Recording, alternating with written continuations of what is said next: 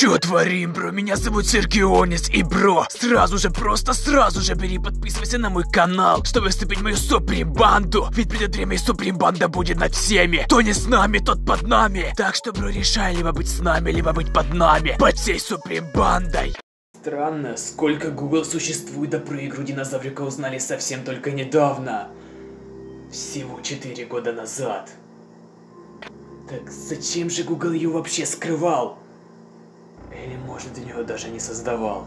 Для тех, кто не знает, игра Google Динозаврик создана для того, чтобы убить ваше время, когда ваш интернет пропал. Это очень хорошая убивалка времени. Но до того времени, пока динозаврик не влетит в кактус или птеродактиля. Что очень странно, потому что динозавр Тирекс, за которого мы играем, мог одним махом челюсти раскусить этого птеродактиля. В игре смена дня и ночи. Странно, что ночью динозавр не устает и продолжает бежать. Так много вопросов и так мало ответов. Не так ли? У меня есть своя теория, что если мы управляем настоящим динозавром из того времени, который постоянно бежит. Начнем с того, что этот Тирекс слишком мал, его рост выдает кактус. Из этого мы можем понять, что это малыш Тирекса. Он бежит против птиц. Все птеродактили куда-то улетают в одну сторону, как будто от чего-то убегают. От той самой кометы, которая уничтожила всех динозавров. Это и объясняет то, почему птеродактили так низко летят к земле. Но наш маленький герой бежит на самую смерть, в поисках своей умершей мамы, которая не смогла добежать до укрытия я и просто погибла. Это объясняет то, почему эта игра бесконечная. Не нету финиша, потому что Тирекс не нашел свою маму. Это древнее послание отправляется нам только в те моменты, когда пропадает интернет. Какие-то очень странные технологии древних людей. Послание приходит только когда, когда сеть доступа ничем не занята. Возможно, это было нацарапано в пещерах на камнях. Из туда взята эта грустная история про динозаврика, который бежал день и ночь в поисках своей мертвой мамы. Это лишь первая теория этой игры эта игра очень странная, мне очень много несостыковок.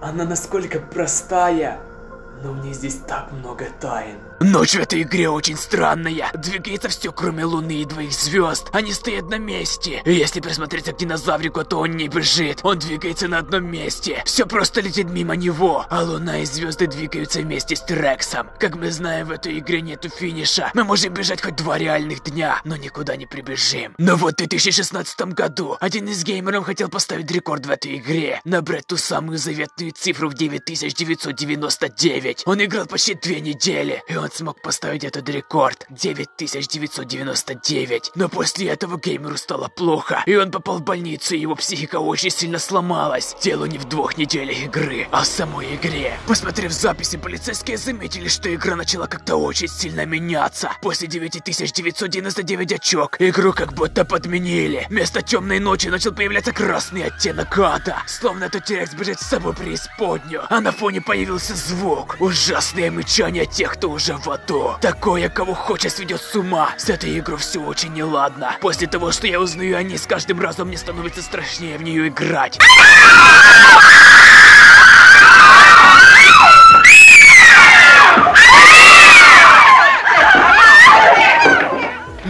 Все, бро. С тобой был Сергионис. Поставь лайк, тебе это всего-то 2 секунды. А мне очень приятно. Давай, ты бы уже поставил лайк за такую страшную крипипасту. Эй, бро, подписывайся на мой инстаграм. Там выходят очень страшные и крутые фотографии. Ссылку оставлю в описании специально для тебя. Но если ты боишься, то просто пиши мне в директ. Эй, бро, мы с тобой обязательно пообщаемся. Ведь я отвечу именно тебе. Да-да, бро. Из всех тысяч человек я отвечу именно тебе. Эй, бро, бро, подписывайся на мой канал, чтобы вступить в мою субанду. Ведь перед время Суприм-банда будет над всеми. Кто не с нами, тот под нами. Так что, бро, решай либо быть с нами, либо быть под нами. Оставайся таким же шикарным, бро.